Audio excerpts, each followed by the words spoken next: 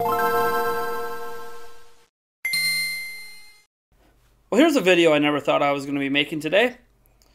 Um, Super Mario Odyssey and Breath of the Wild are getting VR. I am not kidding. Here, have a look at Nintendo's official trailer.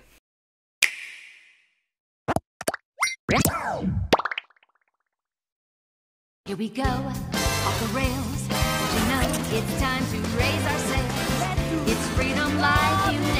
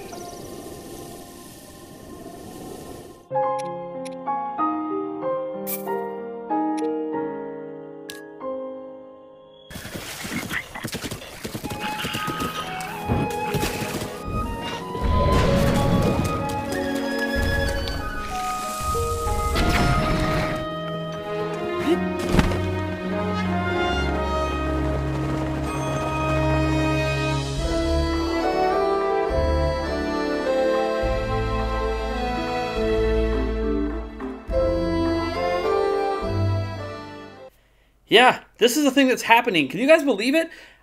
It's going to be awkward, I think. Joy-Cons on the side holding it to your face, I think, is the way they plan for you to play. It's what it looks like. But then again, maybe they're going to include a strap, an optional strap that they haven't talked about that would make this more playable. What's interesting to me is that Breath of the Wild is entirely playable in VR, where Odyssey looks like it's just like a mode or a couple couple little things.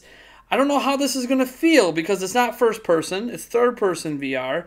I've never really have a lot of experience with third person VR, and it's Labo VR. What is happening?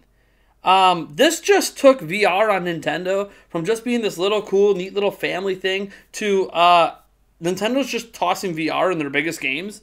Like, what's next? First person Splatoon in VR? Like, I, what what is going on right now?